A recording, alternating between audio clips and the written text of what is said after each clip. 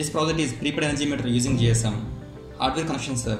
Arduino daughter board along with power supply and 16 by 2 LCD. GSM modem connected to Arduino through EOT. Energy meter pulses taken by LDR and LDR connected to Arduino digital pins. Load controlled by relay. Here load is bulb.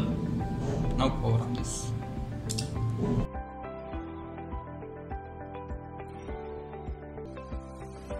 GSM initializing. We have to send a star mobile number in SMS to this GSM.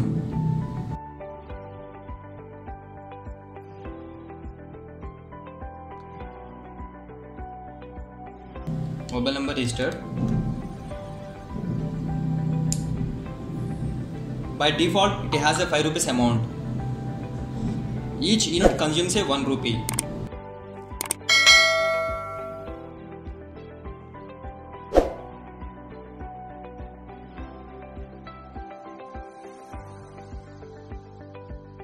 For every 3 units, it will send a SMS to registered mobile number. When amount 1 rupee, then it will send a low balance indication SMS.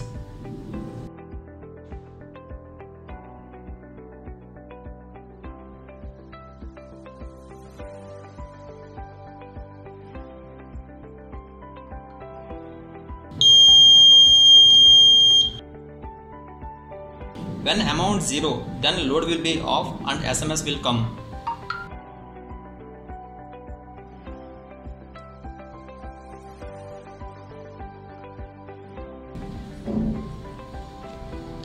Now we can recharge amount with SMS commands. For example, 500 rupees recharge we have to send star or 500 hash.